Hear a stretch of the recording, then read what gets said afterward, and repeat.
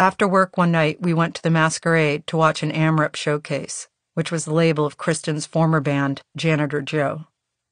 We got drunk at the show, and Kristen and I made out in the club. Was this our Fleetwood Mac period? Courtney and Eric had been a thing long before Kurt or I ever came along. Eric and Kristen had moved in together very soon after meeting and were now in the midst of negotiating their breakup. I don't think anyone saw us then or afterward in the car ride home while Eric drove with Courtney in the front seat. We didn't go to third base or anything, but there was heavy petting, hands on legs, hands up legs.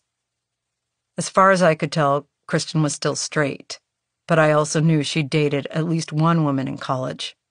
I knew her ex girlfriend, Jenny Olson.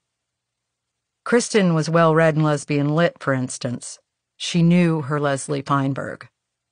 It was great to be able to talk with someone who also loved the novel Stone Butch Blues, the story of a transgender identity crisis. Kristen was one of those people who made you feel smarter by association. She'd already lived nine lives before joining Hole.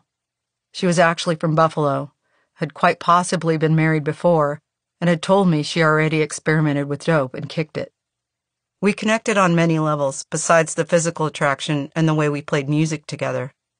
We had heroin in common too, but it hadn't taken her long to figure out the code of silence and privacy that needed to surround a habit.